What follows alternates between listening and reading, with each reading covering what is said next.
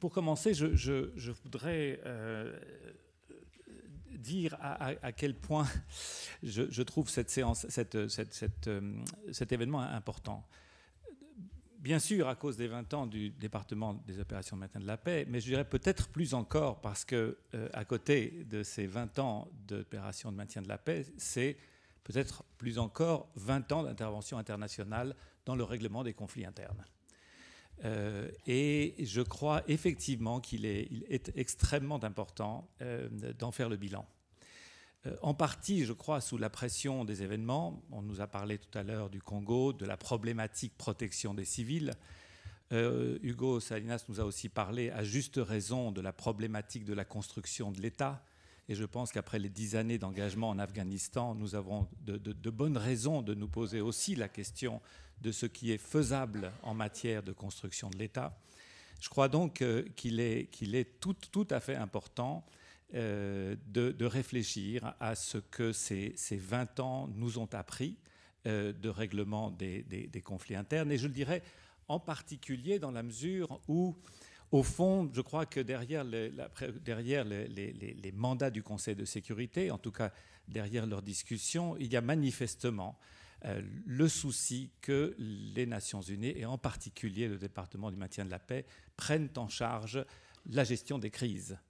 Or, c'est bien, je dirais, l'axe que le bas blesse, dans la mesure où euh, le maintien de la paix moderne, disons, celui de l'après-guerre froide, c'est un maintien de la paix qui est tourné essentiellement vers l'appui au règlement de conflits prolongés. Ce sont dans les conditions de conflits prolongés qu'interviennent certaines de ces conditions préalables qui ont été euh, inscrites dans la règle d'or. C'est le conflit prolongé qui produit euh, l'assentiment des belligérants, dans une mesure l'assentiment aussi euh, finalement de, la région et l'assentiment des principaux membres euh, de la communauté internationale. Dans les situations de crise, en réalité, la plupart du temps, aucun de ces préalables n'est réuni. Et par conséquent, il nous faut, il nous faut forcément forger un instrument qui, à mon avis, n'est pas pour l'instant l'instrument qui a été forgé dans, dans, le cadre du, dans le cadre du du, maintien de la paix moderne. Tout ça pour dire, je crois qu'effectivement, euh, la mise à plat, comme ça a été, je crois, suggéré tout à l'heure, euh, de cette expérience accumulée depuis 20 ans est excessivement importante. Alors justement, dans le cadre de cette mise à plat, ce que nous allons faire au cours de cette séance, c'est euh, examiner de plus près trois, trois situations, trois, trois facteurs qui sont des conditions absolument inhérentes au succès euh, des, missions de, paix. Trois conditions qui ne sont pas toujours visibles euh, dans, l'action quotidienne euh, des, missions, mais qui sont consubstantielles à son succès. La première, évidemment, la plus consubstantielle, c'est naturellement la participation, l'engagement et l'appui des, des pays fournisseurs de troupes. le deuxième, comme cela a été évoqué ce matin, c'est le consensus régional. Et au-delà du consensus, c'est l'appui, les ressources, euh, la contribution, l'engagement que les pays de la région peuvent apporter à l'action internationale des Nations Unies. Et enfin, euh, euh, une, condition qui n'a sans doute pas suffisamment été évoquée jusqu'à présent et qui est, elle, plus importante peut-être encore, c'est naturellement l'appui, le, le, soutien des acteurs internes aux pays hôtes. Euh, pour, nous, pour nous parler euh, de, la situation en la matière, pour nous parler de, l'évolution de ces trois partenariats, euh, nous sommes entourés de, personnes éminemment placées pour, pour, nous, pour en discuter. Nous allons commencer par écouter Amr El Sherbini. vous avez sa biographie qui va nous parler du partenariat avec les pays fournisseurs de troupes. Merci, monsieur veux premièrement remercier euh, la Fondation pour la recherche stratégique pour l'invitation et pour, euh, organiser ce, journée d'études et euh, pour discuter ce sujet qui est très important pour nous comme pays contributeur et pour la communauté internationale. Et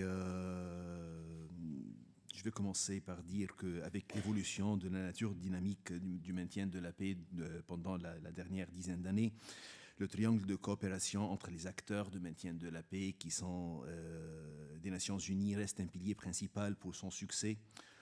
et pour que ces, ces, opérations réalisent son but comme un moyen effectif de régler et résoudre les conflits dans le cadre de la charte de l'ONU. Euh, le mieux le Conseil de sécurité et le secrétariat, les contributeurs de troupes vont coopérer et s'engager dans un partenariat inclusif, mieux les opérations de maintien de la paix seront planifiées et mettre en œuvre et réaliser leur mandat. Le triangle de coopération représente un des intérêts majeurs pour les pays contributeurs de troupes qui souhaitent vraiment s'engager d'une façon significative dans le processus de prise de décision et de ne pas être considéré seulement comme un, source fournisseur de troupes euh, ou de police. Je vais essayer de présenter le perspective des pays contributeurs de troupes sur la situation actuelle du triangle de coopération euh, et de la façon par laquelle il peut être renforcé en tenant compte de ce qui a été réalisé à partir de 2009 dans le cadre du processus Nouvel Horizon et le nouveau environnement de maintien de la paix caractérisé par la manque des ressources financières et le besoin de robuste déploiement et l'émergence de nouveaux défis comme la crime organisée, organisée et le trafic d'armes et la demande pour plus d'experts civils capables de traiter les sujets correspondant aux consolidations de la paix. et aussi euh, correspondant à des nouvelles mandats et des nouvelles sujets comme la protection des civils et comment protéger les civils, par exemple, et comment euh, euh, donner des nouvelles mandats pour les opérations de maintien de la paix et pour les, pays contributeurs, et comment les aider à, les, à, quoi, à les, les, mettre en œuvre au terrain d'une façon tout à fait... Qui, qui, qui, atteint le but et qui aide en même temps à réaliser les, les demandes de la mission et les mandats. Dans ce cadre, euh, je pense qu'il est nécessaire de continuer le progrès achevé en ce qui concerne l'amélioration de la mise en œuvre de triangles de coopération. La participation des pays contributeurs euh, de troupes et de police dans le processus de planification est cruciale. Les relations avec les deux départements de maintien de la paix et l'appui au terrain doivent continuer à, se développer, à renforcer. Euh, personne ne peut ignorer les résultats du processus New Horizon ou Nouvel Horizon et des, autres initiatives prises par certains pays membres du Conseil de, sécurité, y compris la France depuis 4 ou, 5 ans. Euh, mais il reste plus à faire pour arriver à une meilleure coordination entre tous les acteurs impliqués dans le maintien de la paix. Les pays contributeurs de troupes et, ne veulent pas prévoir un engagement dans les, euh, veulent prévoir un engagement dans les plans stratégiques et en ce qui concerne les questions qui ont rapport direct à leur unité déployée, telles que le changement de mandat, ou des tâches prévues. Euh, les contributeurs ne veulent pas être confrontés par des décisions prises par le Conseil de sécurité et euh, euh, impliqués par le secrétariat et qui ont un, impact direct sur leur contribution sans avoir été préalablement consultés. Il y a des exemples qui, peuvent être cités, comme la décision, par exemple, de fermer le Minir 4 depuis 4 ans. Euh, pendant que la mission a été euh, en état de déploiement. Et même, il y avait des troupes qui ont été en euh, état de déploiement et les pays membres ou les contributeurs de troupes, ils ont été, disent que bon, c'est terminé, vos, troupes vont retourner à, vos pays. En plus, si je peux citer en plus le MONUSCO, par exemple, maintenant, il y avait la résolution du Conseil de, sécurité qui a été adoptée depuis six ou huit jours, ou la semaine dernière, euh, il y a une réconfiguration de la force où il a, peut-être qu'il y aura un changement dans le mandat.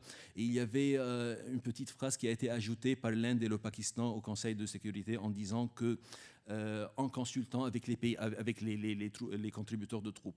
Ça, c'était l'idée de l'Inde et le Pakistan comme des contributeurs au MONUSCO, mais je ne sais pas s'il n'y avait pas l'Inde et le Pakistan. Est-ce que le Conseil de sécurité va faire attention aux intérêts des contributeurs ou il va seulement euh, dire, bon, on, veut un rapport du secrétaire général en ce qui concerne le changement de mandat ou... Euh, ou euh, réconfiguration de la force sans consulter avec les pays membres, euh, pardon, avec les pays contributeurs. en plus, on n'a pas besoin, comme pays contributeur, on n'a pas besoin des réunions d'en plus avec le Conseil de sécurité ou le secrétariat, mais d'un esprit de partenariat. Ça, c'est la, chose, la, chose, la plus importante pour nous, c'est le partenariat et de, vraiment sentir qu'il y a une collaboration et une confiance mutuelle qui permet au Conseil de sécurité de bénéficier des avis de ceux qui exécutent le mandat sur le terrain au moment de décider les mandats de maintien de la paix. il faut qu'on discute ce qui est faisable, ce qu'on peut faire et ce qu'on ne peut pas faire. D'une autre part, il reste nécessaire aussi d'élargir le nombre des pays contributeurs c'est pas seulement 95% des pays du Sud qui fait le mandat ou qui fait le, travail ou le job.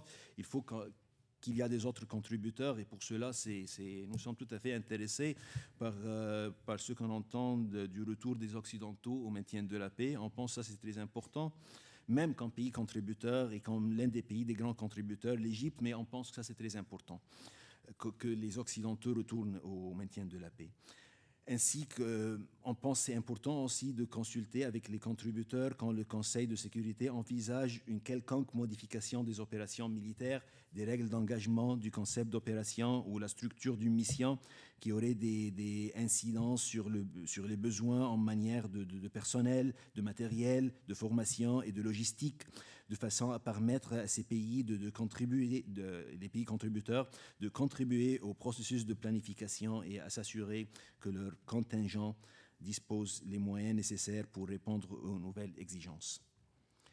Il est aussi nécessaire de souligner l'importance des activités du groupe de travail sur les opérations de maintien de la paix au Conseil de sécurité les interactions du groupe avec les pays contributeurs sont importantes et aident à mettre en place une collaboration de fond entre les acteurs du maintien de la paix, y compris les mécanismes régionaux dans l'esprit du chapitre 8 à la charte.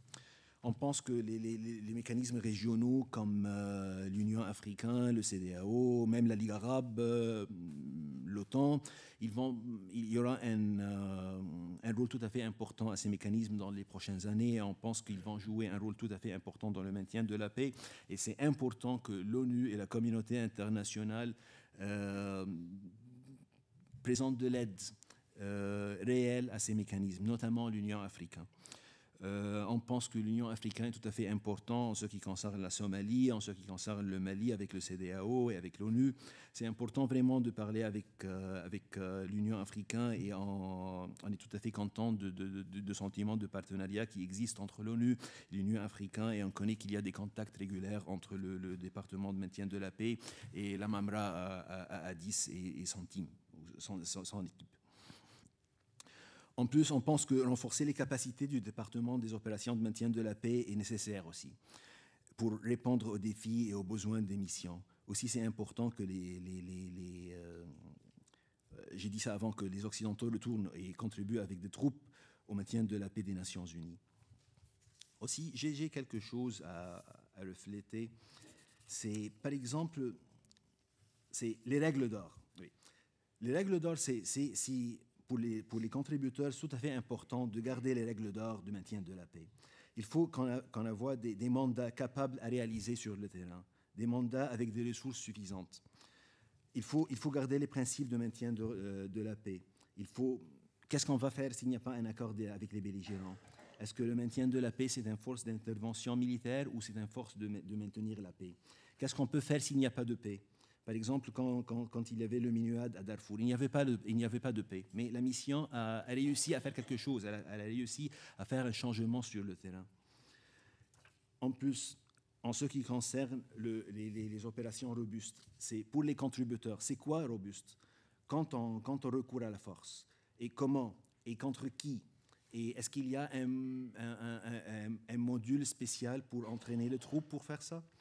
Euh, par exemple, euh, le Mali qui vient, par exemple, qu'est-ce qu'on va faire? Est-ce que c'est seulement c'est un volet militaire ou c'est un volet militaire et un volet politique et un volet, et un volet pour le développement aussi? Et ce sont des questions ou des idées qui... il n'y a pas de, réponses claires pour eux maintenant, mais on pense que ce sont des idées tout à fait importantes de discuter entre les, les, les acteurs de, de, du maintien de la paix, les contributeurs, le Conseil de sécurité et le secrétariat, notamment le département de maintien de la paix.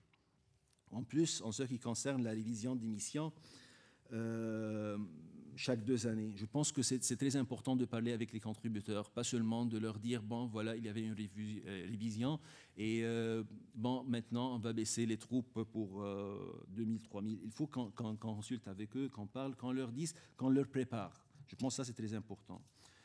Nous avons des défis qui viennent, nous avons le Mali, la Somalie, la Syrie, le Congo, plein de défis et je pense que c'est important de parler avec les contributeurs, de, connaître qu'est-ce qu'ils pensent, qu'est-ce qu'ils veulent, comment on peut utiliser leurs moyens pour résoudre les défis.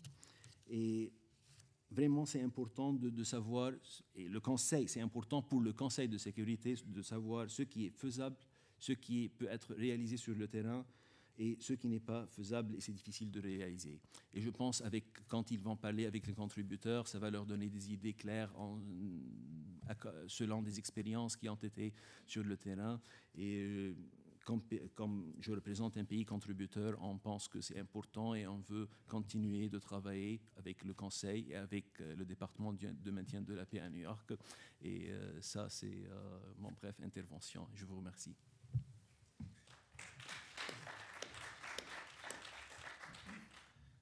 Merci. Et, là encore, je crois que c'est intéressant la façon dont, cette, fameuse question de la, belligérance ou de la co-belligérance se, se, repose. Au fond, les opérations de maintien de la paix classiques dans les conditions de la guerre froide étaient des opérations de gestion de crise. Euh, toutes, ce n'étaient pas des opérations de gestion de conflits durables. Mais la solution à la question de la crise se faisait par l'interposition. La question finalement qui est posée, c'est de savoir si on peut passer de la gestion de la crise par l'interposition à la gestion de la crise par, euh, la co-belligérance. Euh, pour nous parler maintenant euh, plus en profondeur des contributions régionales, je vais maintenant donner la parole à Thierry Tardy sur les partenaires régionaux du maintien de la paix. Merci Monsieur le Président et permettez-moi tout d'abord de remercier les organisateurs de cette rencontre, Camille Grand et puis aussi Alexandra Novoselov, pour l'invitation et puis aussi pour l'animation du débat sur les opérations de maintien de la paix, euh, le rôle de l'Organisation des Nations Unies dans la gestion de crise euh, à Paris.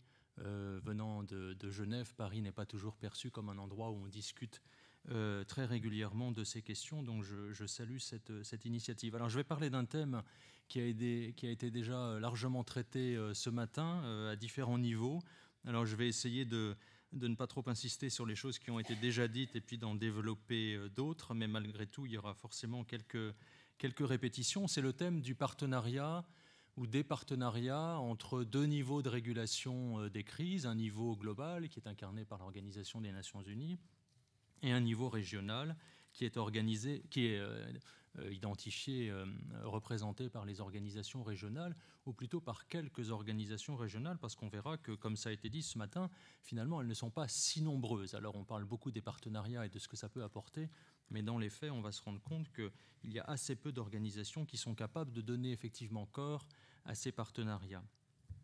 Alors je voudrais commencer en guise d'introduction par dire que euh, en 2012, le maintien de la paix contemporain, il est euh, clairement euh, multi-acteur. Il n'est pas simplement multifonctionnel, c'est-à-dire traitant de différents aspects de la gestion des crises, il est aussi multi-acteurs. Il met en jeu un certain nombre d'acteurs, que ce soit des États, des organisations internationales, des organisations non gouvernementales, des, acteurs externes, des acteurs internes. Moi, je vais me concentrer sur les organisations régionales, mais une des caractéristiques du maintien de la paix contemporain, c'est précisément cette, hybridité, euh, le fait que, euh, compte tenu de l'enchevêtrement de dynamiques locales, euh, internationales, régionales, la quasi-totalité des conflits sont gérés par euh, une multitude d'acteurs. Donc très brièvement, si je prends euh, les Balkans depuis même 1992 et la gestion du conflit ouvert, que ce soit en Croatie ou en Bosnie, mais encore plus à partir de 1995 dans la mise en œuvre de Dayton, au Kosovo à partir de 1999, on a là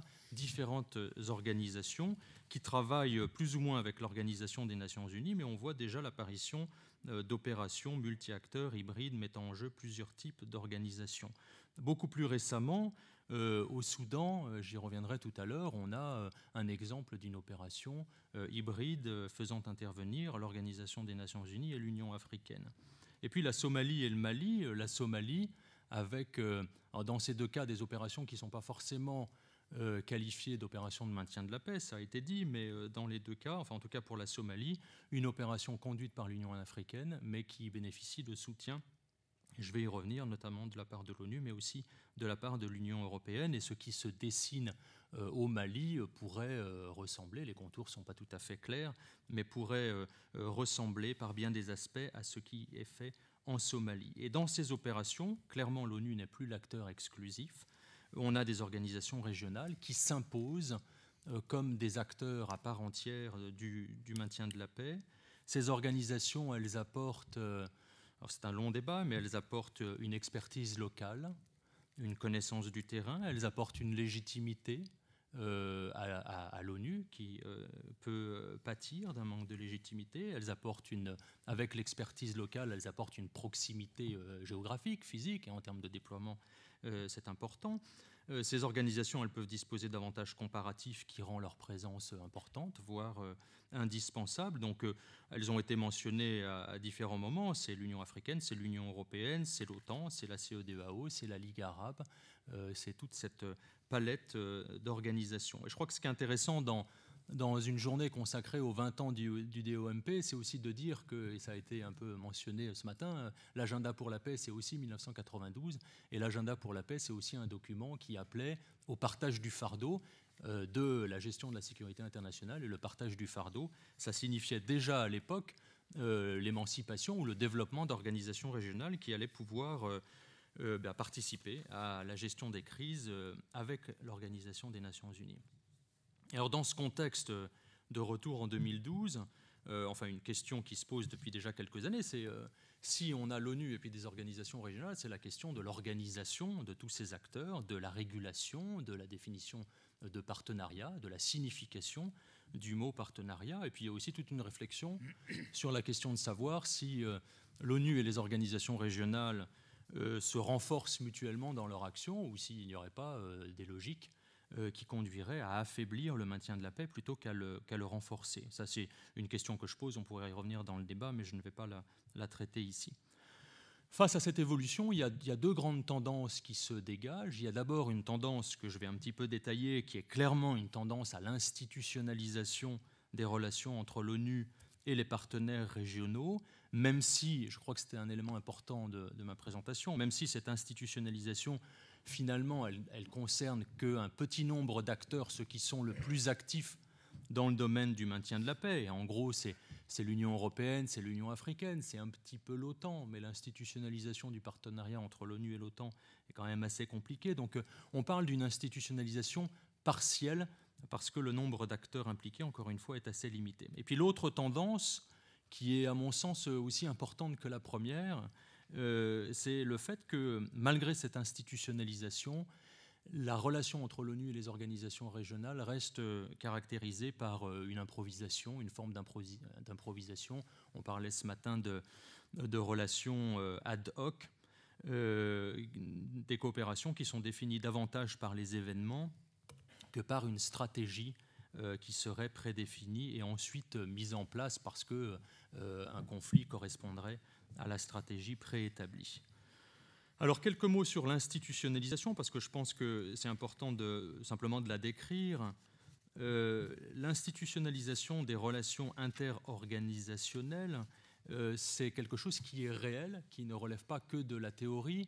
Et alors évidemment, en 2012, on, on a l'impression que ces organisations régionales, elles ont toujours été là, euh, mais si on, se, on revenait dix ans en arrière, malgré ce que j'ai dit pour, euh, sur les Balkans, euh, dix ans en arrière, si je prends l'ONU et l'Union européenne, par exemple, et je pourrais prendre l'exemple de l'ONU et de l'Union africaine, on avait des organisations qui ne se connaissaient pas, qui ne se parlaient pas, dont les secrétariats ne se parlaient pas. On avait par exemple entre l'ONU et l'Union européenne euh, le PNUD qui parlerait à la Commission sur les affaires de développement ou humanitaire, mais sur les questions de sécurité et de gestion de crise, cette relation n'existait pas. Ce sont des relations qui sont récentes et qui se sont développées pour ce qui est de l'ONU et de l'Union européenne depuis, depuis 2000, ça fait 12 ans. Pour ce qui est de l'ONU et de l'Union africaine, euh, ça date de 7 ou, 8 ans, euh, qui se sont développées et qui aujourd'hui eh bien, traduisent un niveau d'interaction assez prononcé. Et je voudrais juste, pour illustrer ce propos, euh, sans dresser une, liste exhaustive des réalisations, mentionner qu'entre l'ONU et l'Union européenne, ou entre l'ONU et l'Union africaine, et puis je pourrais faire le même, euh, je pourrais prendre l'exemple de la relation entre l'Union européenne et l'Union africaine, donc euh, deux organisations régionales qui coopèrent, mais en tout cas entre l'ONU et l'Union européenne et entre l'ONU et l'Union africaine, on a eu des déclarations communes codifiant ce que ces organisations souhaitaient faire ensemble dans la gestion de crise.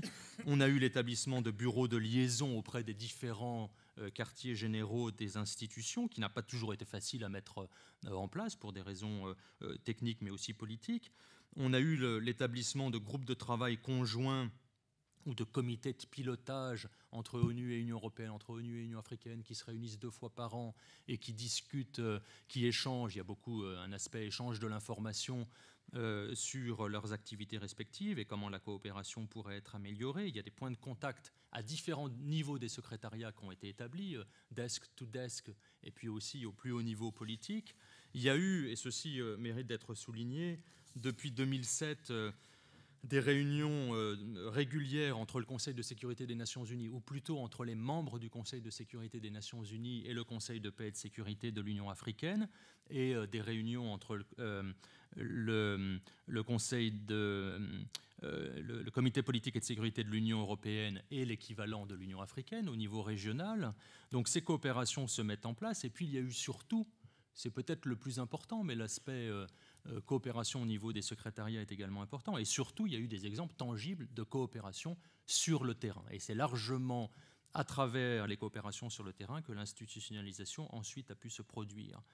Donc je mentionnais euh, les Balkans tout à l'heure, mais si je prends la relation entre l'ONU et l'Union européenne, donc qui se développe depuis l'année 2000, si je regarde sur le terrain, la première opération de l'Union européenne, qui était une opération civile, euh, en 2003, la mission de police de l'Union européenne prend le relais d'une opération de police euh, de l'ONU euh, en Bosnie-Herzégovine. Ensuite, au Kosovo, on a eu la MINUC qui a été largement reprise par EULEX Kosovo, par l'Union européenne. Et dans les deux cas, ceci permet des coopérations tangibles, concrètes, avec la relève par une organisation euh, d'une autre. En Afrique, les trois exemples euh, largement cités, euh, Artemis en 2003, avec une opération de l'Union européenne qui vient en soutien de la MONUC à l'époque et qui donne en gros 100 jours à la MONUC pour se renforcer dans la ville de Bounia, marque aussi un exemple concret d'une coopération entre les deux organisations. Et puis en RDC en 2006, il y a eu une autre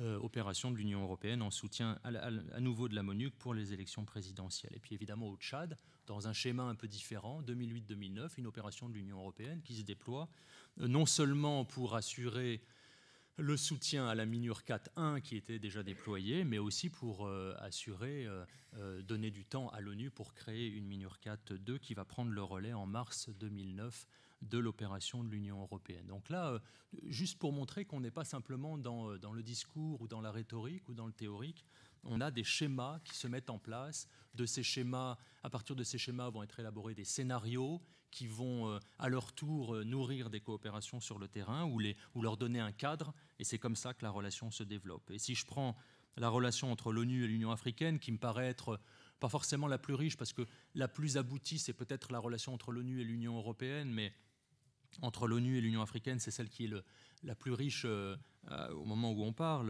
dans les, deux dernières années. Euh, il y a eu euh, la coopération autour du Burundi que j'ai déjà mentionnée, avec une opération de l'ONU qui prend le relais de la première opération de l'Union africaine en 2005-2006.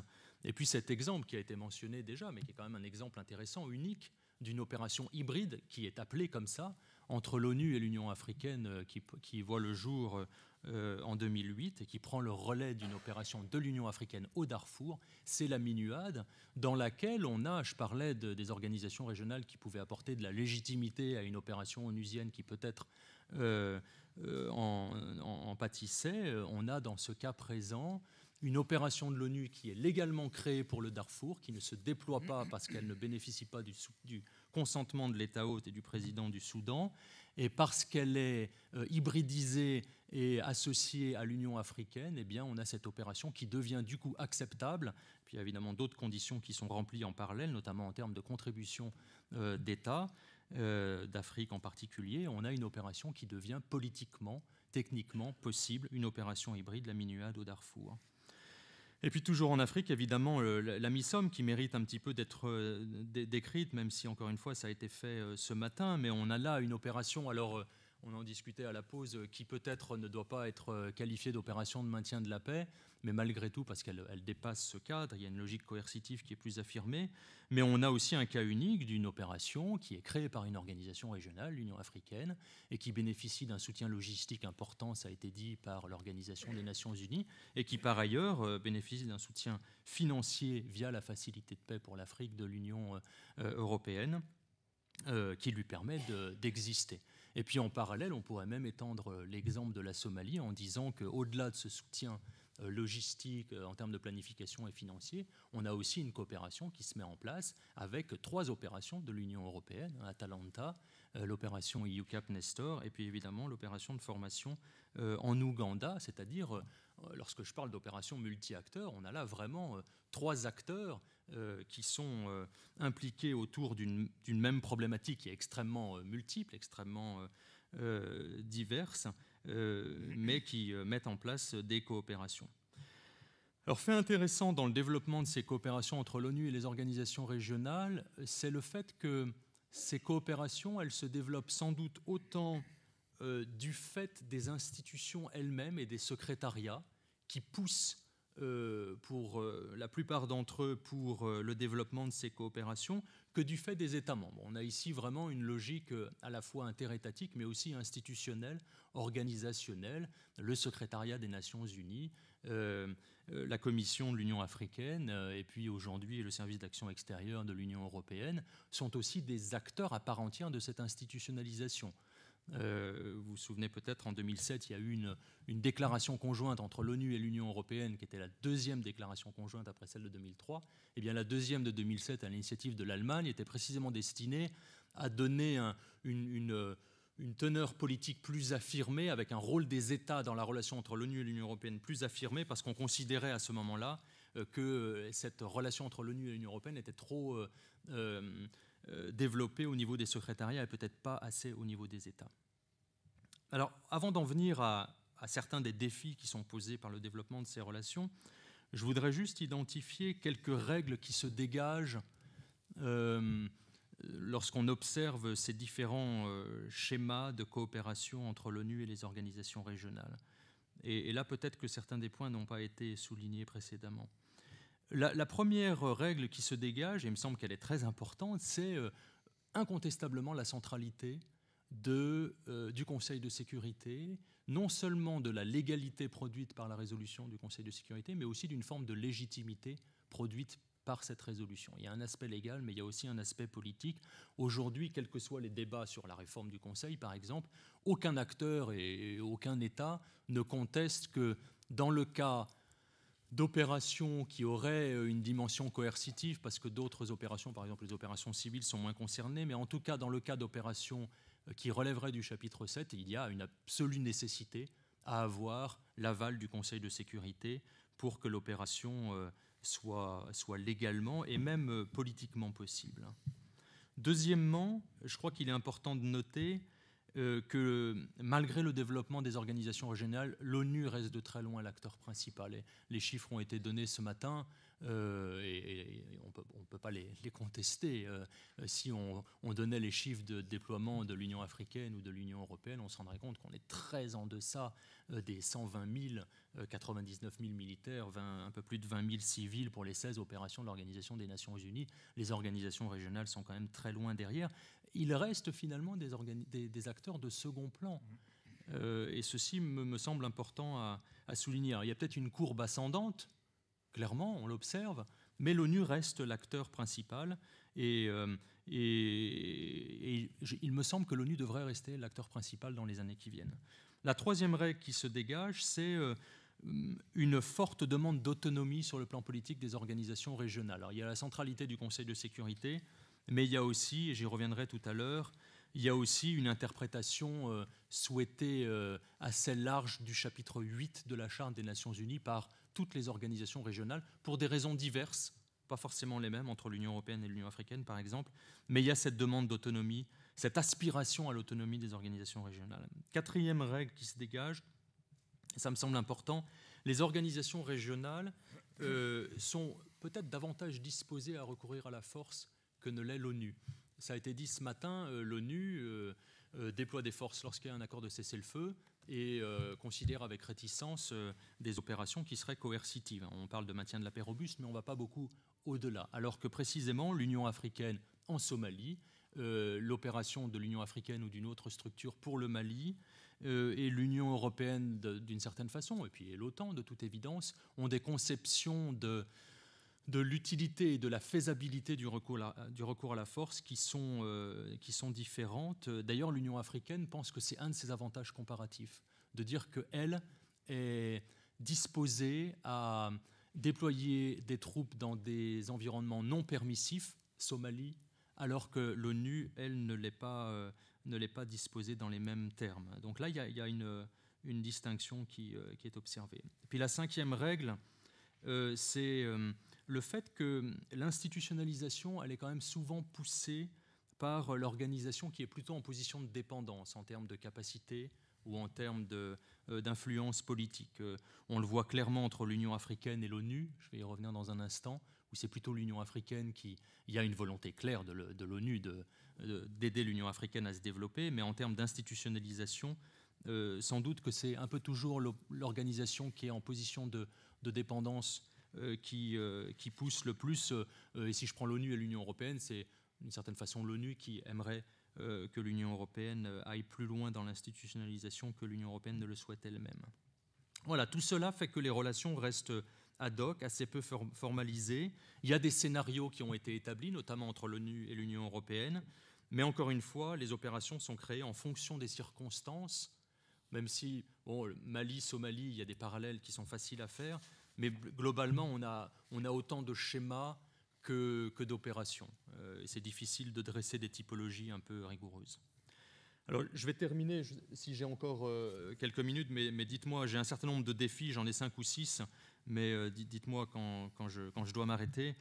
les défis rencontrés dans ces relations, D'abord, euh, il y a un, vrai défi qui est le fait que tout simplement les organisations en présence ont des agendas politiques, des, visions stratégiques qui peuvent être différentes de la gestion de crise, de leur rôle dans la gestion de crise. Il y a évidemment les logiques politiques qui émanent des États eux-mêmes, euh, qui jouent un rôle dans euh, le développement des agendas des organisations, mais il y a aussi les organisations en elles-mêmes qui développent leurs propres agendas et qui ne sont pas toujours compatibles les uns avec les autres. Et simplement, si on regarde l'ONU, il y a, euh, lorsque je dis l'ONU ici, c'est le Conseil de sécurité et le secrétariat qui affirment et réaffirment euh, la centralité du Conseil de sécurité, sans doute pour de bonnes raisons, euh, vis-à-vis des organisations régionales, donc éventuellement une référence au chapitre 8, mais l'idée que l'ONU doit rester au centre pour des raisons politiques, mais aussi pour des raisons de savoir-faire.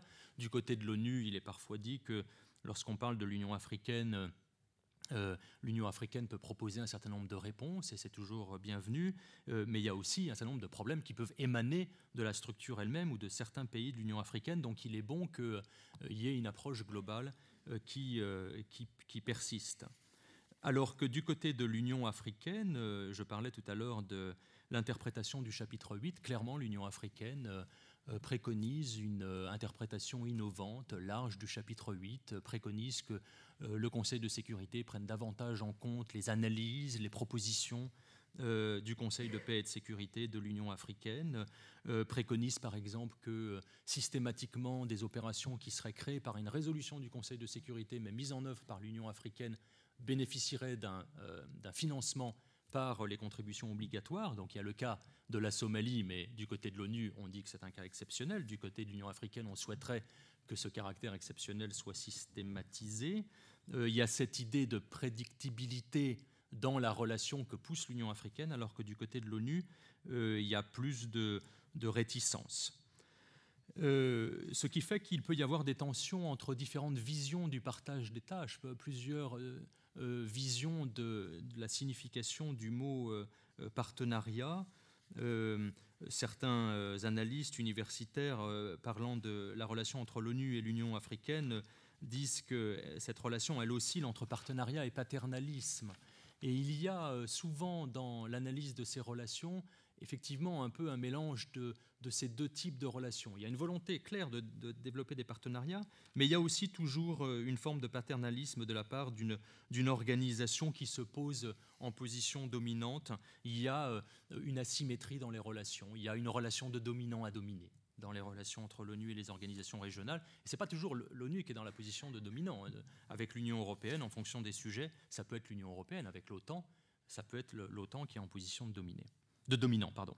Deuxième euh, défi, ça a été euh, mentionné dans une question ce matin, c'est la question de l'autorité et de, de l'ownership euh, en anglais, de, la, de, de, l'organisation qui, qui est en charge d'une opération lorsque celle-ci est hybride, lorsque celle-ci est multi-acteur.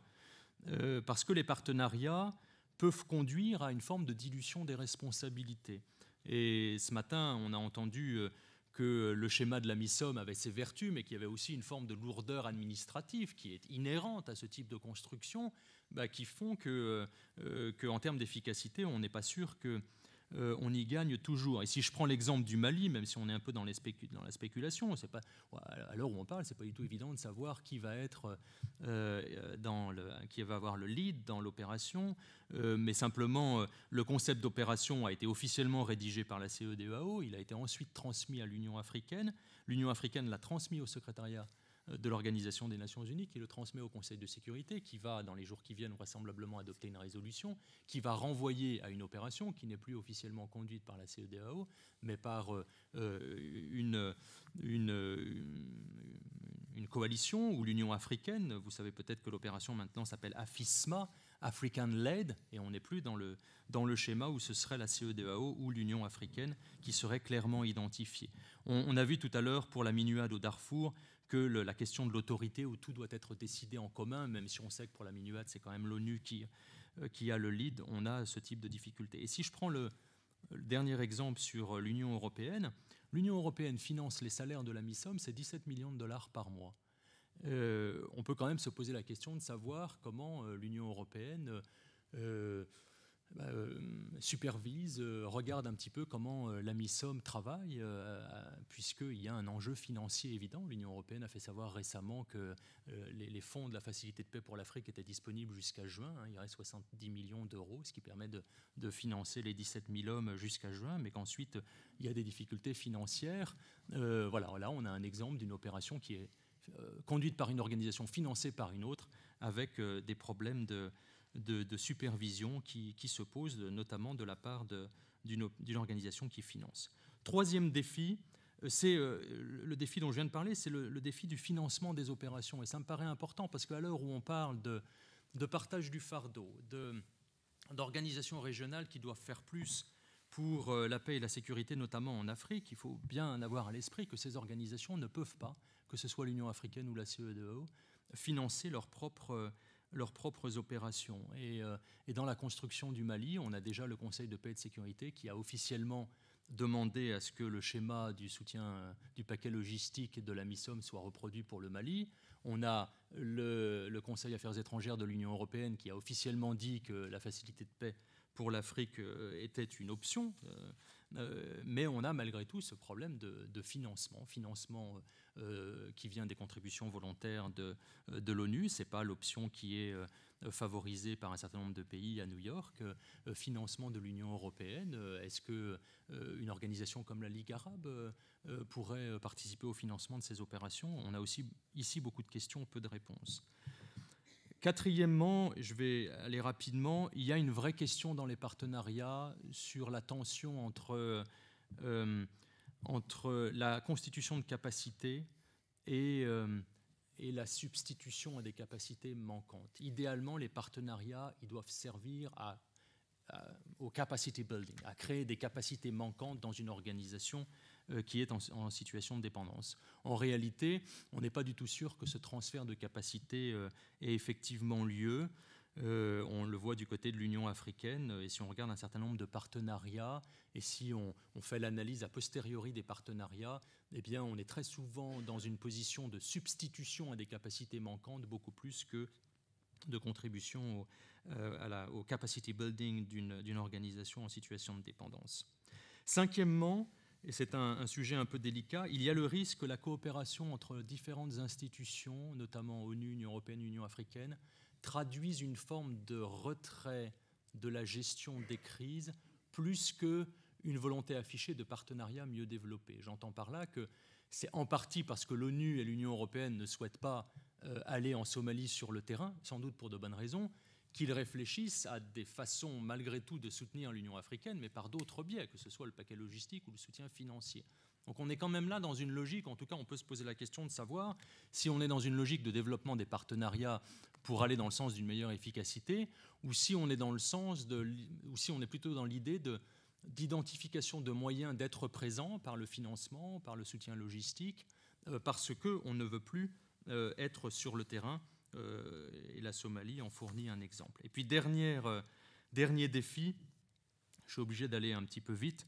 Euh, il semble que lorsqu'on regarde les, les, relations interinstitutionnelles, on est peut-être un petit peu trop dans l'opérationnel et, pas assez dans le stratégique. Peut-être que, et c'est valable lorsqu'on regarde les opérations de maintien de la paix en général, il, ne serait sans doute pas judicieux de considérer que, les, opérations de maintien de la paix sont des outils de résolution de conflits en soi et qu'ils peuvent faire euh, abstraction d'une réflexion stratégique, politique qui, elle, est à même de résoudre euh, les, problèmes. Et lorsqu'on regarde les, relations au plus haut niveau entre l'ONU et l'Union africaine, on est souvent dans dans l'opérationnel. Et au niveau stratégique, les choses sont évidemment plus compliquées.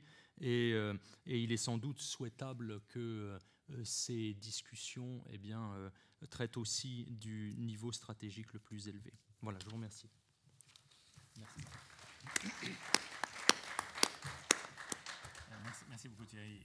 et maintenant pour nous parler des, des partenaires, en particulier des partenaires locaux, euh, j'ai le plaisir de donner la parole à un collègue, représentant spécial euh, en Côte d'Ivoire, Berne Grandes.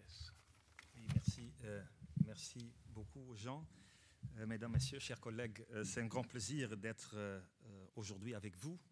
20 ans, 20e anniversaire de la création du département des opérations de maintien de la paix je m'excuse que je n'étais pas ici le matin. Le matin, il était le groupe consultatif pour l'investissement pour le plan de développement de la Côte d'Ivoire. Et euh, alors, je n'ai pas écouté tout ce que vous avez dit, je ne vais pas aller dans la répétition, mais c'est déjà, cette, réunion ce matin était une illustration de ce que vous m'avez demandé de parler dessus, c'est la coopération avec les organisations locales. C'était une, session avec les PME euh, ivoiriennes, les différents départements euh, du gouvernement ivoirien sur la création d'emplois vraiment de montrer aussi la dividende de paix après la crise post-électorale et de travailler avec ces différents acteurs, de trouver euh, une valeur ajoutée pour quelque chose qui est extrêmement important dans le contexte ivoirien, c'est vraiment la création d'emplois. On parle d'une situation où il était à 2008, je crois, euh, non, en 2006, on avait 40 000 PME à la Côte d'Ivoire, maintenant c'est 13 000. Ça veut dire pour la création d'emplois la possibilité vraiment d'aller dans un contexte de démobilisation, euh, de, trouver euh, des, professions pour tous ces jeunes démobilisés, c'est extrêmement important.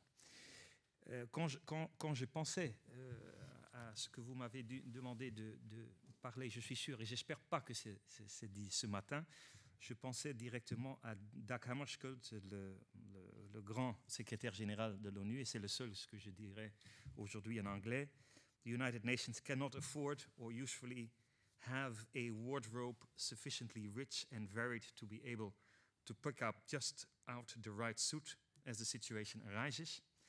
It is much better to have the cloth and go into action as a good tailor quickly when the need arises. Voilà un peu ce qui reste encore pour les, les leçons des Nations Unies. Nous savons, on a parlé là-dessus, je suis sûr, nos mandats sont souvent compliqués, ils ont de légitimité, ils ont de euh, légalité, mais nous sommes un peu comme les bons tailleurs. Euh, en tout cas, nous avons reçu de nombreuses lessons learned, je crois, pendant ces, 20 années, au fil euh, de, cette période, qui nous indiquent comment être ces bons tailleurs.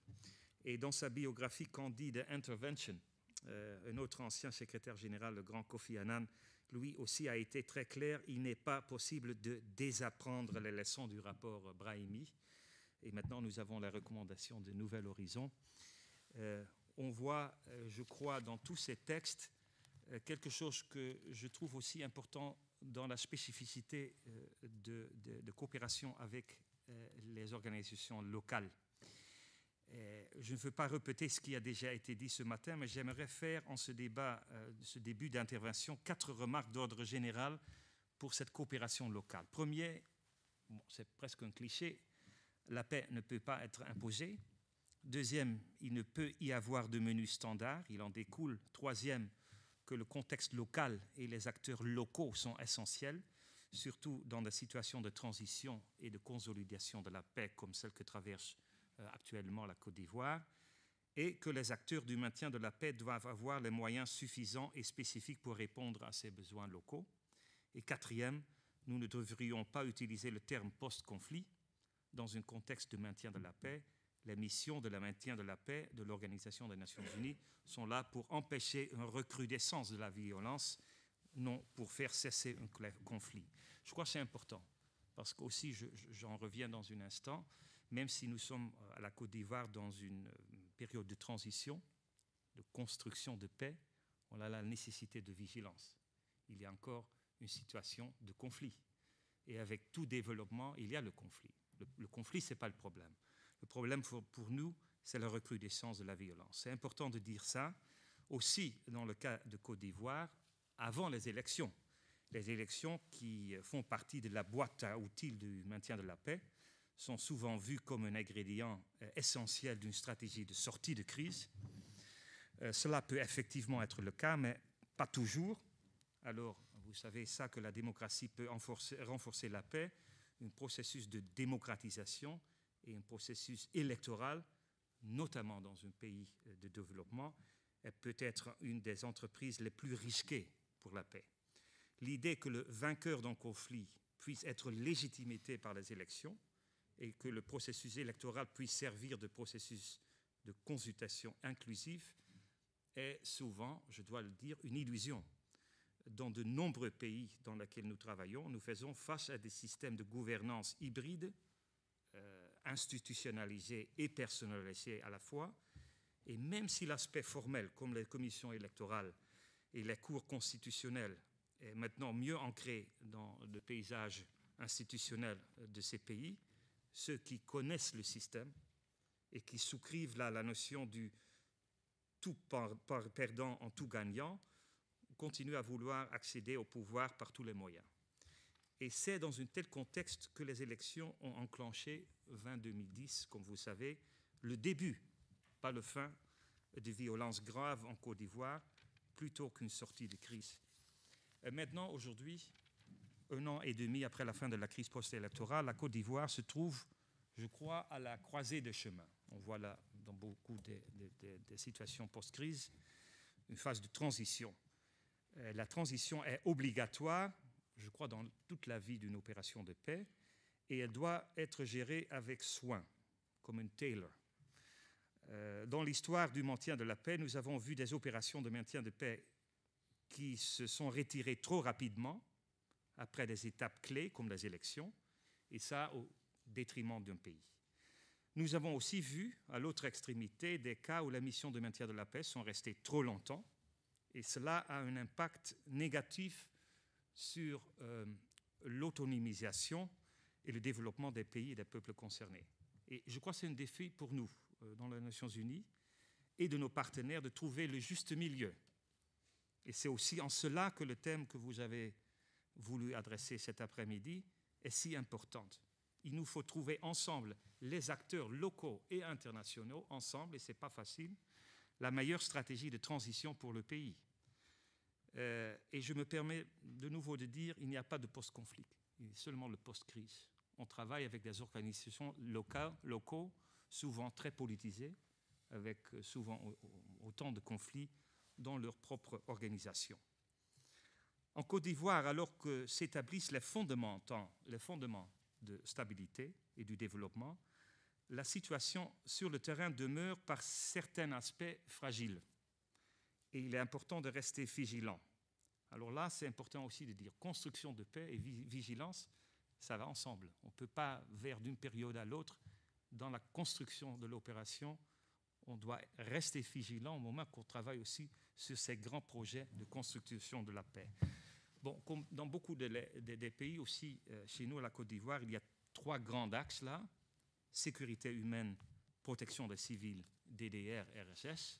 Le deuxième, c'est le grand axe de réconciliation, de renforcement des institutions.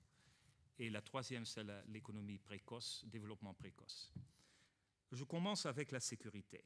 Bon, sur le plan de sécurité, nous avons vu, après une année de beaucoup d'avancées, entre juin et octobre, un certain nombre d'attaques, euh, dont une en juin qui a coûté aussi la vie à sept de nos casques bleus, euh, pris entre deux feux lorsqu'ils ont suivi les instructions qu'on leur avait données de protéger les civils. Nous avons vu les attaques sur le FRC, l'armée euh, ivoirienne, les commissariats, les gendarmeries, la centrale électrique d'Azito, et plus généralement contre l'appareil sécuritaire du pays. Alors ça nous, a donné immédiatement euh, quelques défis, aussi dans la coopération avec les acteurs locaux. Premièrement, c'est important de renforcer la nécessité de continuer avec les réformes de, de, secteur de sécurité et de démobilisation. Parce que normalement, c'est la réaction quand un pays se sent vulnérable qu'on va fermer avec ce processus. Mais c'était important vraiment de dire, au moment où nous sommes, c'est important d'avoir une armée qui n'est pas vulnérable, qui a réformé et où il y a la confiance entre l'armée, la gendarmerie et la police. Et tout cela rend complexe, difficile notre mandat de travailler avec les acteurs locaux, parce que ça veut dire qu'il faut, dans un contexte où il y a une certaine intoxication, parce que les gens, finalement, ils ont pensé il y a la paix, ils, ont, ils sont revenus dans un esprit, dans le pays, de quelques vulnérabilités. Il faut travailler, premièrement, aussi avec les forces de l'ordre du pays, le FRCI. Ça veut dire une, une organisation locale assurer la protection des civils et la sécurité du gouvernement élu démocratiquement, mais aussi d'aider à transformer cette armée catalytique avec par exemple la formation opérationnelle sur les droits de l'homme et sur la mise en œuvre de la politique de diligence vue en matière de droits de l'homme, c'est la politique de due diligence des Nations Unies. Deuxième, ça nécessite un dialogue permanent avec la police et la gendarmerie pour réduire les tensions entre les forces de sécurité et l'armée, instaurer, une police de proximité avec les, acteurs locaux et assurer une tri et un recrutement efficace des forces de sécurité pour un nouveau contrat social entre le gouvernement, la population, la police et la gendarmerie. C'est un des grands défis ce que nous avons maintenant et nous travaillons là euh, en étroite coopération, bien sûr, avec le gouvernement. Euh, et cela nous a conduit aussi à engager une nouvelle discussion opérationnelle avec les acteurs publics et privés autour du thème de la réintégration réinsertion. Je peux vous dire, je crois qu'il y a beaucoup d'exemples là, ça c'est un des, défis les plus grands pour les opérations de paix, un euh, processus de DDR-RSS exemplaire. Et on, on, doit travailler sur un dialogue politique pour euh, la réconciliation, mais aussi pour cette volet de réinsertion et les autres qui doivent, parce que ce n'est pas à nous de le faire, la réintégration.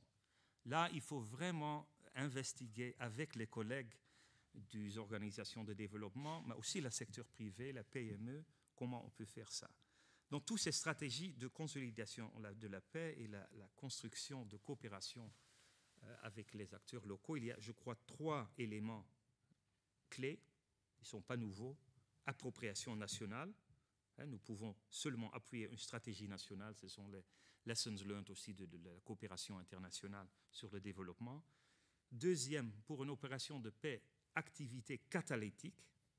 Pour deux raisons, nous ne pouvons pas faire tout. Et deuxième, la population doit voir rapidement les différences concrètes dans sa vie quotidienne. Et troisième, axé sur les résultats. Euh, nous devons éviter les processus bureaucratiques interminables euh, entre beaucoup des acteurs, parce que ça, c'est le risque de coopération. Le deuxième grand axe, c'est l'institution, la réconciliation, le dialogue politique. Euh, pour sauver un peu de temps, je ne vais pas parler trop là-dessus. Il y était beaucoup d'avancées que nous avons vues à la Côte d'Ivoire. Il y était des élections présidentielles, législatives. Maintenant, le, Parlement fonctionne. Il y a des commissions aussi pour aider la réconciliation, etc., etc. Je crois le plus grand défi où nous sommes maintenant, c'est de regarder aussi à la source de conflit et à la réconciliation, parce que la réconciliation reste très difficile dans le pays. Et là aussi, je crois la coopération avec les acteurs locaux, locaux sont cruciales, mais pas nécessairement faciles. Euh, on, est maintenant euh, en travaillant avec l'Assemblée nationale, qui a commencé, c'est crucial. Et là, on doit trouver vraiment des organisations qui peuvent aider à impulser euh, le Parlement dans la discussion sur les vraies sources de conflit, l'identité, la terre, le foncier, mais aussi la sécurité, et la euh, civil oversight, euh, la, contrôle civil des, forces armées. Ce n'est pas seulement le soutien dans un parlement sur le niveau de, greffe ou de technique ou de computers, etc., etc. Il faut penser aussi avec des liens entre les acteurs locaux et internationaux et cette Assemblée nationale qui peut vraiment dynamiser le processus de réconciliation dans le pays. Au même moment, nous savons qu'il y a aussi une opposition extra-parlementaire, il y a encore la réconciliation. Ça, c'est surtout de trouver le bilan entre les bénéfices du représentant spécial du secrétaire général, des différents acteurs dans le pays, le président et les autres, pour aider ce processus qui, euh, qui a encore besoin, je crois, de, beaucoup euh, des efforts euh, dans, le pays. Alors, notre soutien, notre manière de travailler c'est d'émanciper les, organisations, les organisations locales, de faire une identification claire aussi dans le contexte politique, d'aussi savoir que nous devons être proactifs. Quand on dit appropriation nationale, ça ne veut pas dire qu'on attend, parce que là, si, si ça c'est le cas, on n'a pas besoin de vous. Et il faut vraiment faire une cartographie spécifique des organisations locales. Par exemple, dans le contexte de, Côte d'Ivoire, c'est connu, je ne sais pas s'il y a des Ivoiriens ici, toutes les organisations sont extrêmement politisées. Alors on ne peut pas dire facilement il y a le gouvernement, le marché et la société civile. C'est beaucoup plus compliqué. Sur la croissance économique et tout ça, je ne veux pas me répéter, je crois qu'on a dit quelque chose. Alors sur, ces trois axes, nous travaillons comme opération de paix euh, avec les, les, les organisations locales je crois, euh, il faut probablement dire quelques principes là. Tandis que nous travaillons à l'accomplissement de ces objectifs, il nous fait nous éloigner d'un rôle de substitution pour avoir un rôle d'appui au gouvernement pour qu'il s'acquitte de ses obligations de sécurité vis-à-vis -vis de la population et pour qu'il avance concrètement sur les autres euh, priorités. L'accent est mis sur des résultats concrets. Comme j'ai dit, nous ne pouvons pas faire tout, il faut prioriser. Notre tâche principale, à nos missions de la paix, mais aussi au système des Nations Unies tout entier, consiste à transférer nos compétences et savoir-faire au gouvernement et aux autres acteurs locaux en travaillant en collaboration étroite avec d'autres intervenants au niveau national, local et régional. Parce que vous avez parlé de régional, je ne veux pas parler maintenant pour sauver du temps, mais bien sûr aussi dans le contexte ivoirien, le contexte régional est crucial. C'était pendant la résolution de la crise, avec euh, le CDAO, l'Union africaine et le Conseil de sécurité, aussi dans une complexité euh, euh, de, la politique de cette époque-là, qui, a déjà, qui a déjà changé maintenant, mais aussi dans les, programmes concrets sur le terrain avec, par exemple, le CDAO et l'Union africaine. Le deuxième, je crois, important pour les missions de paix, c'est de penser à la décentralisation. Je crois qu'il euh, n'y a aucune opération de paix qui est euh, le même que l'autre. Moi, j'étais dans une des opérations qui étaient relativement centralisées à Abidjan pour des raisons historiques très compréhensibles. Maintenant, dans la construction de paix, on, est en train de, décentraliser parce que, pour deux raisons, pas pour, euh, donner plus d'argent à notre mission. On fait le dans le contexte de, de, notre, de nos finances, mais d'être très proche dans des différentes euh, régions où les problèmes et les, les, conflits nationaux peuvent avoir une influence sur les, les conflits locaux et vice-versa. Et vice-versa. Et là, nous avons vraiment dit, on va avoir une approche très flexible d'opération de paix. Pas tout le monde doit être partout. Bien sûr, la police et notre force doivent être là-bas aussi pour avoir l'information. Et puis, on fait des petits bureaux qui peuvent vraiment catalyser les choses sur les priorités dans cette région. Ça peut être euh, sur la, réconciliation, les retours de service, euh, le comportement des groupes de Dozo, par exemple, qui, font quelques problèmes avec la sécurité dans la région, etc. Alors, les, mots-clés sont là, euh, décentralisation flexible, pas comme un nouveau système de beaux bureaux et d'offices partout, mais vraiment en fonction de la réalité. Euh, bon, euh, je, vais, probablement conclure, euh, pour ne pas prendre plus de temps. Je crois le troisième élément, c'est quand on travaille avec les, les groupes locaux, c'est aussi le défi pour les Nations Unies, avec les autres partenaires, de travailler en équipe. Gouvernement, acteurs civils, militaires, contributeurs de troupes et partenaires financiers et techniques. Ça, c'est très important. Euh, et la coût de, transactions, de coordination sont de temps en temps très hauts. Alors il faut le, faire le bilan avec les résultats. Et je vais finir aussi avec un petit mot d'un grand secrétaire général, Boutros, Boutros Ghali, qui a fait, comme vous avez dit, il y a 20 ans, dans l'agenda pour, pour, pour euh, la paix, les objectifs. Le but principal, il a dit, et je le cite, est de s'attaquer aux causes profondes des conflits désespoir économique, injustice sociale et oppression politique. Les missions de maintien de la paix doivent avoir les moyens de travailler avec les acteurs locaux pour assurer les dividendes de la paix pour la population. Là, il faut prioriser. Je crois que c'est très important. Il faut avoir un niveau d'ambition réaliste. Oui, il faut penser aux sources de conflit, euh, mais au même moment, il faut vraiment penser à cette transition et à responsabiliser aussi des autres. Mais cette responsabilité doit être prise par, les Nations Unies. Nous avons euh, le devoir de le faire. Et bien sûr, euh, et ça me, permet un peu de, dire sur les grands débats ce que j'ai vu dans la littérature, est-ce qu'il y a vraiment une diminution des conflits en nombre et en intensité? Euh, Bon, on ne sait pas. On va voir dans le, futur. Moi, je ne suis pas convaincu pour le, futur. Il y a beaucoup de conflits intractables il y a beaucoup de positions ni guerre ni paix. Il y a des grandes transitions entre les pouvoirs du monde. Alors, c'est très difficile à dire. Mais je crois en tout cas, nous savons une, chose sûre. Après une crise, euh, par exemple le post-électoral que nous avons vu à la Côte d'Ivoire, les, dernières, premières trois années sont absolument cruciales pour voir s'il y a vraiment les avancées ou il y a un risque de retour euh, dans, le contexte d'une période ni paix ni, guerre. Et là, je crois que nous avons fait beaucoup de progrès. Oui, il y a encore ces grands problèmes de sources de conflit, mais je crois que les Nations Unies, après la gérance de la crise euh, euh, en 2011, où on aussi, aussi, on a utilisé les moyens militaires, après l'instauration du nouveau gouvernement démocratiquement élu, il y a des avancées, il y a aussi un sentiment des Ivoiriens qui veulent tourner la page. Et qu'on a aussi fait beaucoup d'investissements dans la confiance des, Nations Unies, parce que ce n'était pas nécessairement euh, le grand ami de toutes les forces politiques dans le pays. Mais c'était important d'avoir cette confiance, même si ce n'est pas toujours euh, facile. Je crois pour nous maintenant, dans cette période d'éviter un retour, et dans un optimisme dans le pays, il faut faire euh, qu'est-ce qu'on peut dire en anglais? Penny wise, pound foolish. Ça veut dire nous devons réduire, ça c'est clair, dans la crise fiscale euh, internationale. On ne peut pas avoir beaucoup plus d'argent, probablement moins.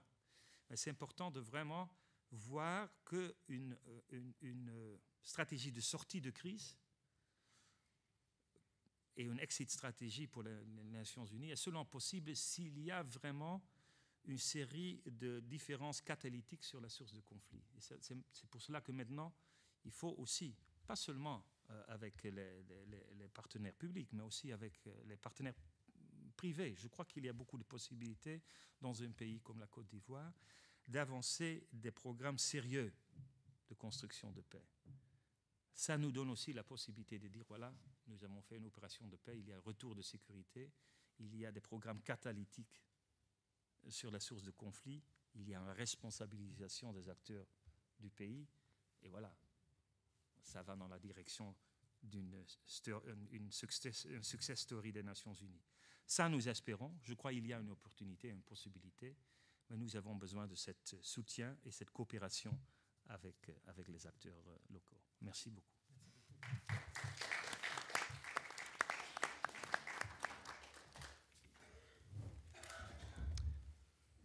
Serais tenté moi aussi d'utiliser le privilège du président pour poser les premières questions, mais il nous reste bien peu de temps pour le débat. Je crois qu'il serait préférable donc de euh, vous donner la parole euh, pour tirer parti de l'expérience et de l'expertise de nos collègues.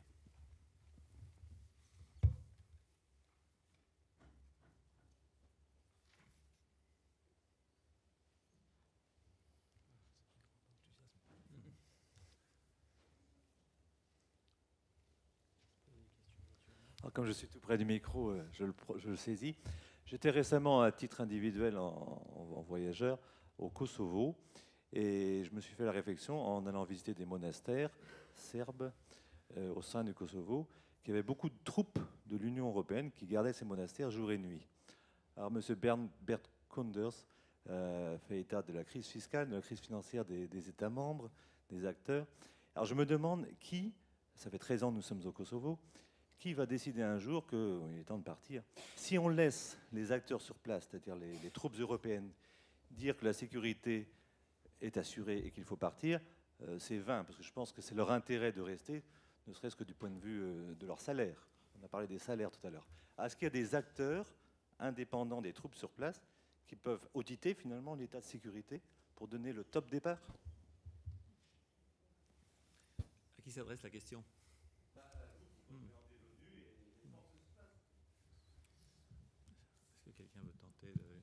Voilà, je suis un peu spécialisé maintenant à la Côte d'Ivoire, mais, mais, j'étais beaucoup à Kosovo, hein, c'est pas, pas comme euh, représentant euh, spécial. Bon, je crois, et, ça n'est pas prouvé par l'histoire, parce que nous avons vu euh, aussi un, grand conflit à Kosovo, Kosovo dans le contexte européen. C'était en deux heures de vol de Paris, c'est pas loin. Néanmoins, il était un conflit. je, sais qu'il était beaucoup des efforts de, prévention de conflits. Au fin, il était les actions militaires. Euh, c'était une action d'or du mandat des Nations Unies, mais néanmoins, il était une légitimité après euh, des différentes résolutions des Nations Unies.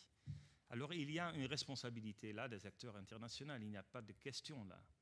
Comme vous savez, euh, je crois, la, la future de Kosovo et la, la manière dans laquelle, et je ne parle pas officiellement maintenant des Nations Unies, mais, en regardant un peu la situation, euh, je crois là, il y a la possibilité maintenant, même s'il y a un grand désaccord entre les, pays membres de l'Union européenne, mais aussi des, Nations Unies, de l'indépendance du Kosovo, que le problème sera plus gérable que par exemple dans les pays africains.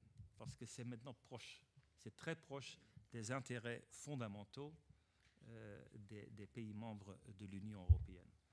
Alors, pour la rôle des Nations Unies, là, il est très compliqué, comme vous savez, parce que nous sommes là dans un contexte d'une résolution qui est très difficile pour mon collègue là à Kosovo. Je ne sais pas si M. Latsou il sait beaucoup plus de ça que moi-même, mais c'est pas facile. je lui ai vu opérer là, c'est pas une chose facile parce qu'il est très coincé sur la différence aussi dans le contexte du Conseil de sécurité. Mais personnellement, je n'ai pas tellement de peur que, dans le contexte stratégique où nous sommes, que euh, ça pourrait mener à, un grand conflit. Néanmoins, il faut être très vigilant. Vous avez raison. Et je crois aussi là, dans le contexte des, des organisations locaux, il y a la possibilité de faire plus dans le contexte de réconciliation. Je crois, et ça, ce n'est pas une réponse de votre euh, question, mais je crois vraiment, si on regarde à la Kosovo, il y a un désinvestissement aussi des, programmes sérieux pour euh, réconcilier les deux côtés.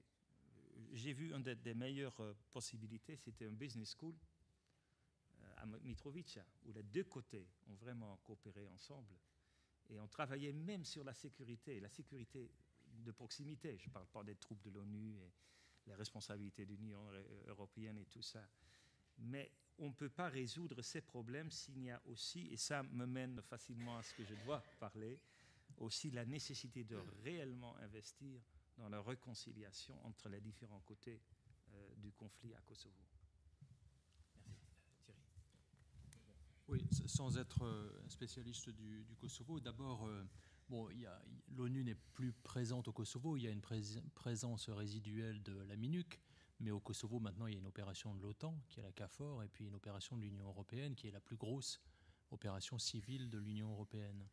Euh, donc l'ONU est, impliquée parce que euh, le mandat de la CAFOR est renouvelé régulièrement par le Conseil de sécurité, et puis par cette présence résiduelle, notamment euh, au nord du Kosovo, de la MINUC, mais on n'est plus dans la configuration d'il y a quelques années. Deuxièmement, sans doute qu'il y a encore un besoin aujourd'hui au Kosovo d'une présence internationale. Il y a eu un rapport là, il y a deux, trois semaines au Parlement européen, si je ne me trompe pas, faisant état de très grandes difficultés euh, euh, dans la mise en œuvre du mandat de EULEX Kosovo, notamment dans la mise en œuvre de, de l'état de droit. Il y a encore des niveaux de corruption qui sont très élevés et qui semblent dire, d'une part, que EULEX Kosovo euh, a du mal à mettre en œuvre son mandat, et puis d'autre part, semble dire qu'il y a encore un besoin pour une présence externe. Et le troisième élément que je voudrais mentionner, qui est un, élément peut-être un peu euh, qui peut avoir son intérêt dans, le cadre de nos discussions, euh, pour l'Union européenne, EULEX Kosovo, c'est la plus grosse opération civile, hein, la, deuxième étant l'opération en Géorgie.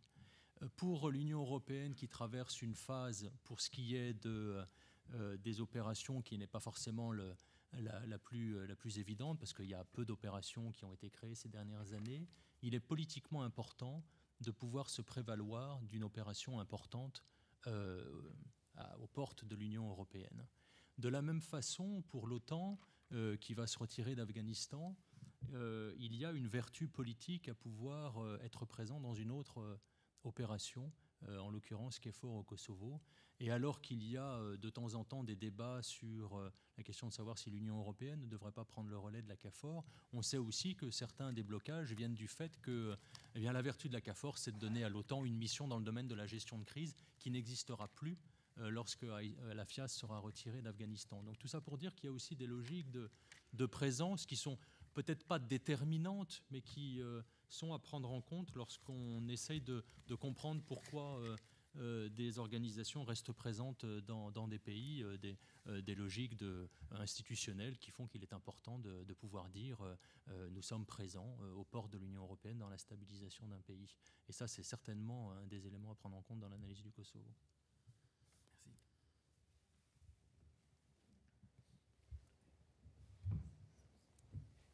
Ah, je prends la parole en premier. Ici. Je suis Colin Collignon de, la délégation aux affaires stratégiques au ministère de la Défense ici à Paris. Euh, il y a bien peu de militaires qui ont pris la parole aujourd'hui, donc je crois que je vais être, je vais être le premier, ou alors, ils sont en civil. Euh, et je voudrais vous faire part d'une partie de ma petite expérience euh, sous casque bleu, même si l'appellation casque bleu, je trouve, est, à la limite, comment dire, il y a un peu limite dans, dans ce qu'elle représente. Un casque bleu, c'est quelque chose de tout à fait inerte qui protège et qui a plutôt tendance à, ne pas bouger alors qu'il y a quand même un soldat sous le casque. Hein, et ça me semble intéressant de le souligner. On l'a évoqué tout à l'heure en rendant hommage au travail que faisaient ces gens-là. Et je crois qu'il faut, euh, il faut effectivement insister là-dessus. Euh, lorsque j'étais à Sarajevo, euh, dans la Fort Pronu, nous étions chargés d'assurer la, la, protection des convois qui descendaient le long du mont Igman pour approvisionner la ville. Un jour, alors que ça, tirait pas mal. Le, contingent qui était chargé de la protection même du convoi, c'est-à-dire de l'escorte, a décidé de ne pas descendre. C'était un pays, je ne citerai pas ici, parce que ça, tirait trop et qu'ils estimaient que, euh, suivant leurs ordres, les ordres de leur direction politique, hein, euh, ils outrepassaient euh, le mandat qui leur était donné. Premier, premier exemple. Deuxième exemple, j'étais chef de corps d'un régiment à l'ouest de la Côte d'Ivoire et euh, au sein de la force Licorne. Et nous étions, comme vous le savez, chargés de euh, servir de, force de réaction rapide au profit hein, de euh, l'ONUCI. Et à ce titre, nous avions des échanges réguliers, des exercices très fréquents avec euh, les bataillons de, de Bangladeshi qui servaient autour de nous, ce qui nous a permis de nous rendre compte, contrairement à certains clichés qui étaient véhiculés à ce moment-là, que ces bataillons étaient constitués de très bons soldats, hein, que dans les exercices que nous réalisions avec eux, ils étaient très bons, alors peut-être pas euh, suivant les critères occidentaux, hein, mais, c'était des bons soldats.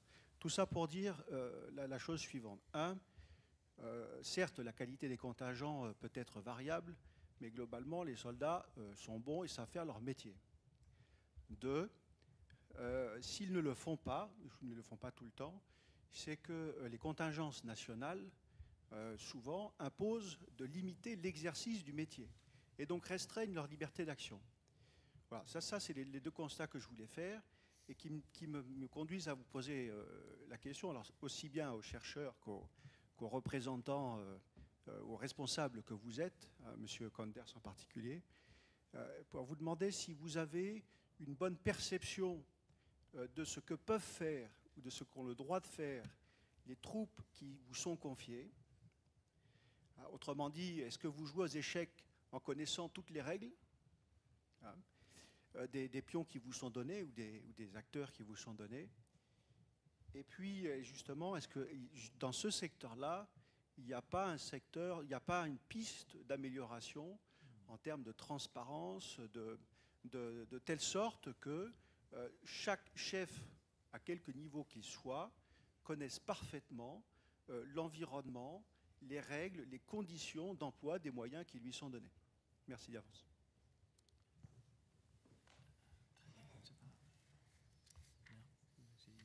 Oui, bon, euh, en fait, je n'ai pas tellement de commentaires parce que ce que vous avez, euh, ce que vous avez dit, je suis tout à fait d'accord. Premièrement, c'est important de dire, il y a une qualité des troupes que nous avons à Côte d'Ivoire euh, qui est très haut. Ce sont des troupes de beaucoup de pays. Nous avons les Bangladeshis, comme vous avez dit. Nous avons les Pakistanais. Nous avons surtout aussi des troupes de l'Afrique de l'Ouest. Et ce sont en général des troupes très professionnelles, très disciplinées. Ça ne peut pas dire qu'il n'y a pas des, des, problèmes. Les problèmes ont à faire avec ce que vous avez dit. Comme vous savez, euh, mon commandant de force, il y a le contrôle opérationnel des troupes. Ça, veut dire qu'il y a toujours des relations aussi avec, euh, avec leurs capitaux. Euh, c'est le fameux problème de caveat que je reconnais, ce n'est pas seulement dans les Nations Unies, on, a connu ça aussi dans l'OTAN, par exemple, dans la mission d'Afghanistan. Je me souviens surtout de la caveat de certains pays qui ne pouvaient rien faire pendant la nuit, et seulement euh, avec une certaine distance des capitaux. Je crois toujours ça limite les possibilités. Mais au fin, ces caveats sont différents aux Nations Unies. Il y a bien sûr des, agréments entre les, pays et les Nations Unies, mais ça limite le, le, force, le commande à la contrôle opérationnel. Alors il y a ces, aspects que vous dites ça, vous dites là.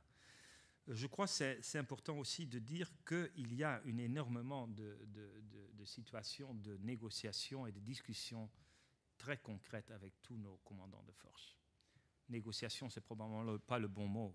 Je veux dire, ça veut dire qu'il y a une échange d'informations chaque jour. Nous avons amélioré, je crois, profondément dans les opérations de paix le système d'échange d'informations. Ça s'appelle le JOC et le JMEC. Il y a des analyses d'informations. Il y a un système vraiment d'échanger sur le niveau local, sur le niveau décentralisé, mais aussi centralisé, l'échange de tous les types d'informations militaires, police, humanitaires, qui nous donnent plus de possibilités d'être en, réagi en, réagi en réagissant euh, à temps. Je crois que ça, c'est très important euh, de dire. Oui, il y a surtout aussi des problèmes, je ne veux pas vous, échapper. Les opérations de pain sont fort indépendants de la troupe qu'ils reçoivent. Mais en général, euh, je veux dire qu'il y a deux complexités, c'est la langue parle maintenant de la, francophonie. On avait fait un grand séminaire, je crois, il y a quelques, quelques semaines sur ce est-ce qu'il y a dans la francophonie une certaine manière de faire des opérations de paix, mais aussi de recrutement qui peut aider les opérations de paix. Et ça sera crucial. Il faut avoir plus de troupes aussi francophones. C'est absolument crucial. On peut travailler avec les interprètes, mais au fin, si on veut être proche de la population, être effectif, avoir d'informations, je crois que c'est crucial. Le même, c'est pour la police. Euh, pour vraiment faire le, police de proximité, pour faire aller plus loin dans la construction de paix, il y a cette nécessité d'investir dans la police locale et là, la langue est un aspect euh, très, euh, très important. Mais en général, je voudrais vous, vous, vous, suivre. Il y a un grand compliment pour les forces d'opération de paix. Ils font ce qu'ils peuvent.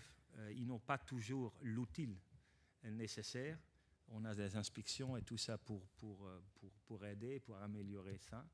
Mais ça dépend aussi toujours, comme toujours avec les Nations Unies, nous pouvons faire en dépendant du, du, capital politique, financier et militaire que nous est donné. Merci beaucoup. Encore une question euh, Général Folio, nous avons essentiellement parlé de l'Afrique, donc ce qui explique peut-être que dans toutes les organisations que vous avez citées, vous n'avez jamais mentionné l'OSCE de Vienne. Est-ce que cette organisation a disparu du paysage du rétablissement de la paix, de la confiance, de la sécurité, ou est-ce qu'elle existe encore? Venant d'un pays euh, qui va assurer la présidence de l'OSCE en 2014, euh, bien que n'étant pas suisse, euh, je ne pourrais pas dire que l'OSCE n'a plus un rôle central dans la gestion des conflits internationaux, mais si je dépasse euh, cette analyse, il est clair que l'OSCE aujourd'hui n'est plus l'acteur qu'elle a été dans la décennie 90 avec des capacités de niche qu'elle avait pu développer, même si elle continue de jouer un, certain nombre de, rôles dans au moins deux régions, Caucase et Asie centrale elle a très largement pâti à la fois de l'élargissement de l'Union européenne et puis euh, de l'aspiration de l'Union européenne à jouer un rôle dans le domaine de la sécurité euh, au-delà des frontières de l'Union européenne. Donc euh, aujourd'hui, l'OSCE, qui a joué un rôle très important dans les Balkans, notamment dans l'organisation et la supervision de processus électoraux dans la décennie 90, aujourd'hui, euh, il y a des avantages comparatifs, il y a des logiques institutionnelles de compétition qui se mettent en place et qui font que l'Union européenne prendra le dessus sur l'OSCE. tous les membres de l'Union européenne sont membres de l'OSCE et c'est plutôt l'Union européenne qui prendra le dessus sur l'OSCE lorsque un cas va se présenter pour une demande de gestion de crise. Le cas de la Géorgie euh, montre bien aussi que pour des raisons politiques, hein, la position russe sur la Géorgie faisait que ni l'ONU ni l'OSCE n'étaient les bienvenus et que du coup euh, l'Union européenne a pu bénéficier de ces circonstances. Donc aujourd'hui, les activités de l'OSCE sont réduites à la portion congrue en termes géographiques. Il y, a des bureaux, je pense, dans tous les, pays du Caucase. Je ne sais pas pour la, euh, pour la Géorgie, mais en tout cas en Asie centrale euh, également. Mais en termes d'activité, euh, il est clair que l'OSCE n'a plus le rôle qu'elle avait. la présidence Yeltsin avait beaucoup misé sur l'OSCE parce qu'elle y voyait une, institution qui pouvait jouer un rôle, mais Poutine, dans ses différents mandats, a complètement négligé cette, cette organisation, suspectée par ailleurs de n'intervenir qu'à l'est de Vienne et jamais euh, du côté occidental, ce qui avait d'ailleurs, par exemple, conduit à mettre en place une mission de l'OSCE pour superviser les élections aux États-Unis après l'affaire euh, euh, Bush-Kerry. Donc, dans l'élection suivante, il y avait eu une mission de l'OSCE pour montrer aux Russes que l'OSCE intervenait également en, en, Occident. Mais c'est vrai qu'aujourd'hui, c'est une organisation moribonde. Il ne faut, pas le dire dans des pays pour qui ça compte, parce qu'il y a des pays qui finalement ne sont membres que de l'OSCE, mais ils ne sont pas très nombreux. Et puis l'OSCE, c'est aussi la seule organisation européenne euh, qui a quatre des cinq membres permanents du Conseil de sécurité. Donc il y a un potentiel. L'OSCE, par exemple, a essayé de développer des activités en lien avec le printemps arabe. On est à la, à la marge euh, de la zone couverte par l'OSCE, mais tout ça reste assez limité.